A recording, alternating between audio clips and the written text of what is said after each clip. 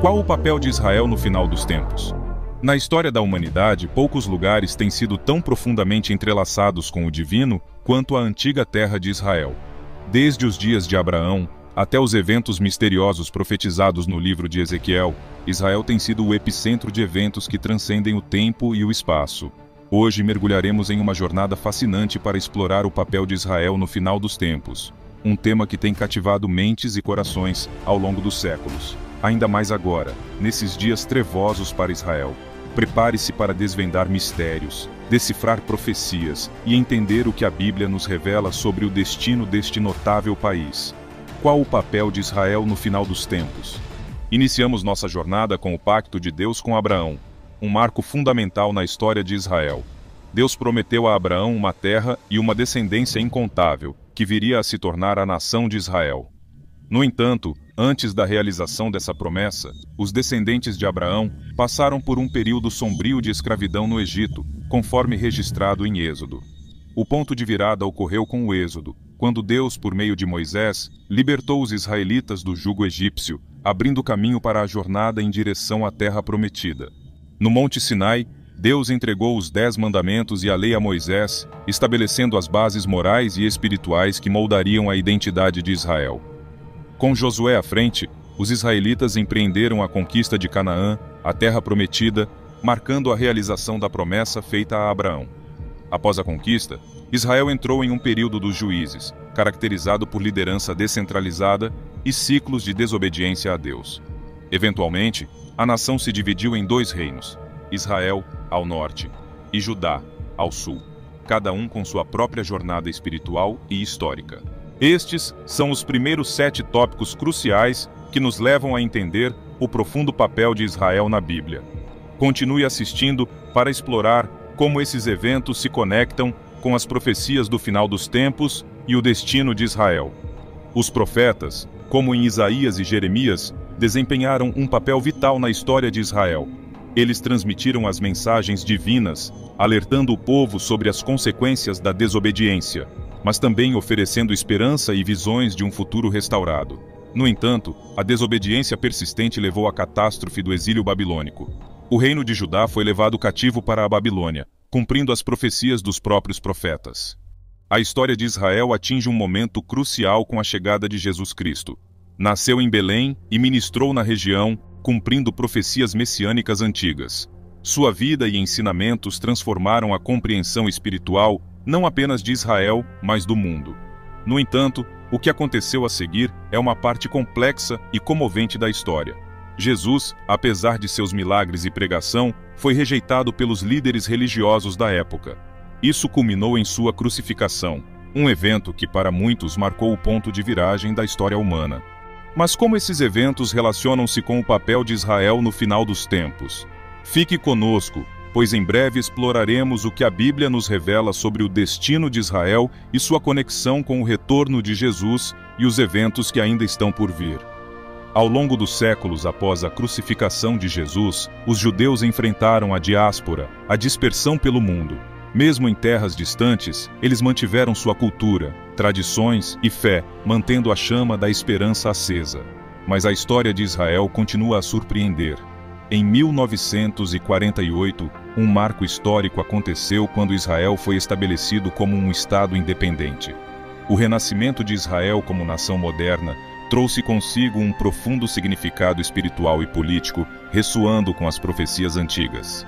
Agora, chegamos a um ponto crítico. Como esses eventos do passado, incluindo a diáspora e o renascimento de Israel, se encaixam nas profecias sobre o papel de Israel no final dos tempos? Continue assistindo, pois estamos prestes a desvendar os mistérios que cercam o destino de Israel em um contexto mais amplo e profético. Chegamos ao ponto culminante de nossa jornada: as profecias do fim dos tempos relacionadas ao papel de Israel. A Bíblia está repleta de visões e previsões sobre eventos que ainda estão por vir, e Israel desempenha um papel central nesses eventos. Entre as profecias mais significativas, encontramos passagens como aquelas em Ezequiel 37, que falam sobre o retorno das tribos de Israel e a restauração espiritual. Mateus 24 também nos oferece uma visão das últimas palavras de Jesus sobre eventos que precedem sua segunda vinda. Como essas profecias se desdobrarão é uma questão que tem cativado teólogos, estudiosos e crentes por gerações. Continuaremos explorando o que a Bíblia nos diz sobre o papel de Israel nos eventos que antecedem o retorno de Cristo e o juízo final. A Bíblia nos oferece uma série de profecias e visões que apontam para o papel central de Israel nos eventos que antecedem o retorno de Cristo e culminam no estabelecimento do reino milenar. O profeta Daniel oferece insights importantes sobre o destino de Israel. Em Daniel 9, 24 ao 27, encontramos a profecia das 70 semanas, que aponta para o tempo do Messias. No entanto, uma semana, sete anos, ainda está por ser cumprida, o que sugere um período futuro de tribulação. A grande tribulação é um período de intensa tribulação que a humanidade enfrentará antes do retorno de Cristo. Em Mateus 24, 21, Jesus descreve esse tempo como grande aflição, como nunca houve desde o princípio do mundo até agora, nem jamais haverá. Durante a grande tribulação, surgirá o Anticristo, um líder mundial enganador que buscará a adoração das nações. Ele profanará o templo em Jerusalém, Daniel 9, 27, e perseguirá os crentes, Apocalipse 13. O Armagedon é a batalha final entre as forças do bem e do mal. Apocalipse 16, 16 descreve o local da batalha, que envolverá nações reunidas contra Israel. No entanto, Deus intervém e triunfa sobre seus inimigos. Depois da batalha de Armagedon, Satanás é preso por mil anos. Apocalipse 21 ao 3. E o reino milenar de Cristo começa. Durante esse período, Cristo reinará com justiça na terra, cumprindo as promessas de um reino de paz e prosperidade. Isaías 11. Durante o milênio, a nação de Israel desempenhará um papel especial como o povo escolhido de Deus. Jerusalém será a capital do mundo, e muitas profecias de restauração espiritual de Israel serão cumpridas. Ezequiel 36 e 37. O papel de Israel no fim dos tempos é um tema complexo e controverso. Alguns acreditam que Israel não desempenhará nenhum papel importante na consumação da história, enquanto outros acreditam que Israel terá um papel central, mas a Bíblia deixa claro que Deus não abandonou o seu povo. Deus já cumpriu em restaurar Israel à sua terra natal antes da segunda vinda de Cristo, como descritas em Jeremias. Deus promete restaurar Israel à sua terra natal e fazer uma nova aliança com eles, e muitas outras profecias. A Bíblia também mostra que o palco da segunda vinda de Cristo será em Israel. Mateus 24, 30 e 31. Jesus Cristo voltará à terra e aparecerá sobre as nuvens no Monte das Oliveiras, que fica em Israel. Em Apocalipse, 1,7 diz que Jesus Cristo voltará à terra e estará com os seus santos em Israel. Israel será o instrumento de Deus para a salvação do mundo. Em Romanos 11, 11 12 diz que Israel será o instrumento de Deus para a salvação do mundo. Em Apocalipse 7, 9 ao 14, diz que Israel será um meio de bênção para o mundo.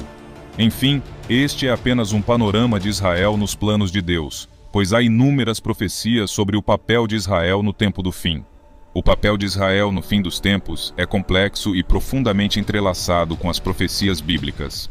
Israel é central na restauração espiritual e política que ocorrerá durante o milênio, e seu destino está intricadamente ligado aos eventos que levarão ao retorno de Cristo e à conclusão da história humana.